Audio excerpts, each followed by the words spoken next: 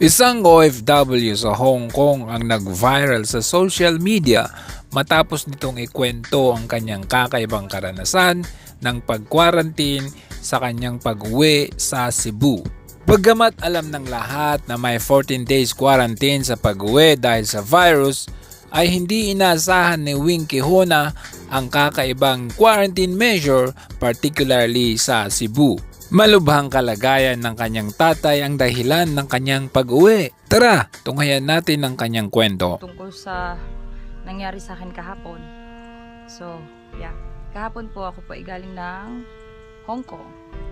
Dumating po ako kahapon, 11 p.m. sakay ng Cathay Pacific. Pagdating ko po ng Cebu, hinold po kami sa holding area ng airport. Tinanong po kami, mga kasama ko, tinanong po kami kung saan kami galing. So, Hong Kong. Or, at taga saan po kami, saan po kami uuwi.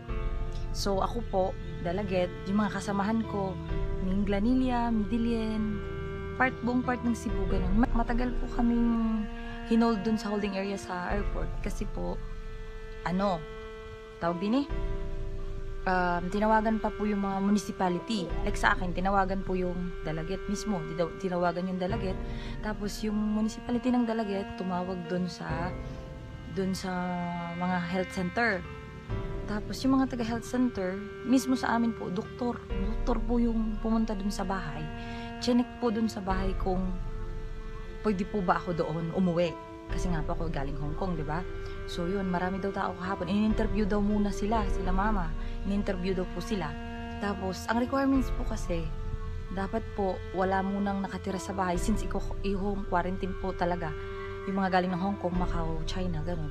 I-home quarantine. So, ang requirements po, dapat 65 years old below, walang nakatira sa bahay na ganun. Wala din dapat nakatira sa bahay na 10 years old below.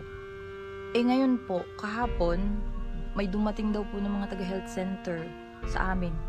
Nasa airport pa lang po ako. May, tum- may dumating daw po na mga, meron nga pong pulis eh. Tinanong daw po kung ano may nakatirang ganon. Eh ang masaklap po sa bahay namin, may 65 years old above, may sakit pa yung tatay ko. Tapos nandun din po yung kapatid ko, buntis. Tapos yung anak ko po 7 years old. So, below 10 years old siya. So, talagang masaklap. Kaya po, tumawag po yung taga-center doon po sa munisipyo ng Dalaget. At yung munisipyo po ng Dalaget, tumawag din sa airport na, ano, ganito ang sitwasyon dito sa bahay nila. So, sabi po doon, ang advice po doon sa airport, ano, um, pwede kang umuwi sa inyo through ambulance kasi hindi po, bawal po ang sundo sa airport. So, through ambulance, kuku, may sumundo sa amin na ambulansya, ihatid kami. ta- Basta, sa, mantakin niyo po yun. Galing kang Hong Kong, tapos nasusundo sa'yo, ambulansya. Tapos yun po, um, ang advice, kung may isa pa kung, kung may, may pwede ba akong matirhan dun sa, sa bahay, sa, sa lugar namin. So, meron naman, meron naman dito, dito ko ngayon, naka-home quarantine ako lang, bawal, bawal lumapit, ganoon. Basta kahapon, sinundo na po kami ng ambulansya. Matagal po, 11, 11 na akong dumating sa airport. Ano, 5 o'clock or 6 na ba yun? Dumating ako ng bahay. Naka-ambulansya yun ha. Pagdating pa po namin ng bahay, nakaabang na po yung mga ano, Diyos ko, sa Alleluia. Nakakahiya kasi ang daming tao. Nakatingin. Hindi po muna ako ibinaba. Chinek po muna yung area ng bahay namin. Talagang hindi nga po talaga qualified. Kaya dito po ako ngayon sa kabilang bahay. So yun, ang sumundo po sa akin kahapon, ano, pagkababa ko ng bahay namin, ang daming tao ha. Ano, mga nurse, ay may nurse, ay may dok, yung doktor, basta dalawang lalaki yun eh. Na, doktor daw yun, tsaka nurse, tapos may doktora pa sa health center, tapos may mga taga-center pa, tapos may mga tan, may mga police. Sa isip ko, Lord, naka, alam mo yung nakakahiya kasi parang feeling mo, may sakit ka. Pero wala naman, wala, wala. Chinek lahat, wala naman. Talagang ano lang daw po yung protocol po talaga yun na kailangan sundin. So wala naman, okay lang. Ang sa akin lang po kasi, buti na lang 30 days yung bakasyon ko. Eh paano po kung naging 15 days lang? Tapos ganito, di ba po? Kaya yun, na umuwi po ako para para makita yung tatay ko or maalagaan ko man lang. Kaya lang po, hindi po nangyayari yung ganun ngayon this time. Kasi po, ultimo po yung anak ko. Nata- tinatanaw ko lang po sila. Dito po, ayun po. Andun po yung bahay namin. Sorry. Ayan po yung bahay namin sa tapat. Ah, saan ba? Hindi makita. Malayo eh. Ayan yung may tindahan na yun. Ah, dun. Saan ba? Ayan yan. Basta yun. Malayo. So, like kahapon, dumating ako. Ano, yun, mga labahin nila yan. Sa kabila. Di bali, dito po ako ngayon nakatira sa kabilang bahay. Kasi dito naman, ay buti na lang, walang tao. Pero may sar kailangan need mo, may sarili kang toilet. So yun. Tapos kagabi, kahapon ng hapon, may mga pulis pa nag-interview sa akin kasi requirements daw talaga na kailangan ano, i-check, i-check lahat. I-check yung environment, i-check kung okay siya, ganun. May mga doktor pa, may mga nurse. Ngayon naman po, ay kagabi, nung natulog ako, para lang talagang hindi ka mata- maka, makalusot. Kasi minsan, di ba, ako nga gusto ko na talagang silipin yung tatay ko dun eh. Tapos sabi, ano, binantayan pa po ako ng ano, mga tanong. Hallelujah to the Lamb. May mga tanong pa. Tapos, okay-okay na rin. Mabilis lang na yun siguro yung 14 days. Nabawasan na naman eh kasi kahapon 14, ngayon 13. So 12 days na lang. Pero naintindihan ko rin naman tong situation na to.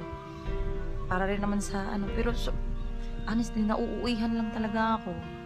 Eh, sobra naman na kasi. Sana, ang layo kasi ng 14 days.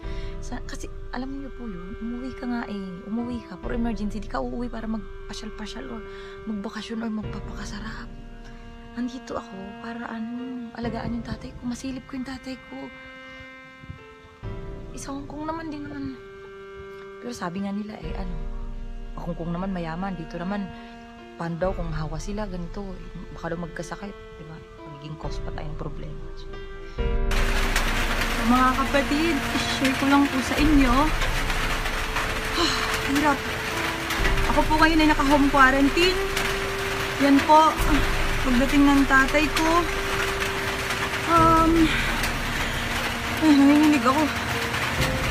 Wednesday po ako dumating, buhay pa yung tatay ko, nakakarinig pa yon. Tapos, ngayon po, Friday, kaninang umaga po, pumanaw po yung tatay ko. Pero hanggang ngayon po, anong araw na ngayon? Wala po akong sakit pero 14 days daw po talaga akong mahang quarantine. Okay lang. Pero ang hirap pala yung tinatawnaw mo lang yung tatay mo na galing po, ano, ibinalsa mo po siya. Namatay po siya kaninang 8 a.m. Binalsa mo po siya. Anong oras na po ngayon? Alas 3? Binalik na po siya sa bahay. Diyan po siya ilalamay. Ilalabas pa lang po yung tatay ko. Yun po. Mas nakamasid po yung mga tanod sa akin. Hindi naman ako tatakbo. Oh my God. Napakabait po ng tatay ko. Kaya kahit napakamahal ng pamasahe, ginrab ko. Kasi gusto ko siyang makita.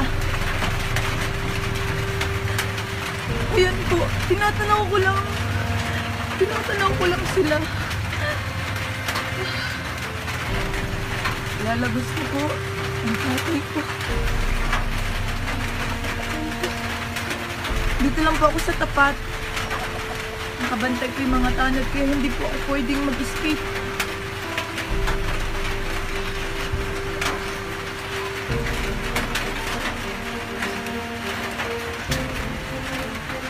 Napakabait ng tatay ko sobra. Walang katulad. Ayoko namang magmukmuk sa kwarto. Ayoko magmukmuk dito sa bahay kasi wala naman akong kausap. Mas mabuti lang titingnan ko sila. Kahit ganito man lang, nakikita ko sila. I-share ko lang din po sa inyo kung paano po kahirap yung umuwi ka. Alam ko pong i-home quarantine pero hindi ko po alam na isiseparate po ako ng bahay.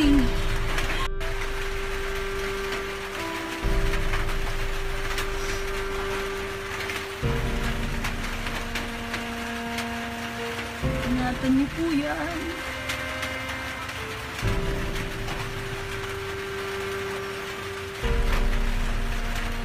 Yun na, pinasok na sa bahay. Nakita ko na. Tabaong nangalam.